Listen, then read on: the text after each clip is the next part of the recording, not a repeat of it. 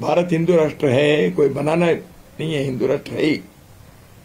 State and nation are different Hindu राष्ट्र के बारे में संघ ने बहुत पहले कहा है। एक कल्चरल कॉन्सेप्ट है। ये थियोक्रिटिकल नहीं है। हम सौ साल से हम कह रहे हैं, हिंदू राष्ट्र का अर्थ ये है, भारत हिंदू राष्ट्र है, कोई बनाना नहीं है, हिंदू राष्ट्र है ही। State and nation are different constitution से एस्टेब्लिश होने वाली चीज़ जो है इट इज़ अ स्टेट एक स्टेट पावर राज्य शक्ति है। Nation is a cultural concept इसलिए भारत के नेशन जो है, यह हिंदू नेशन है।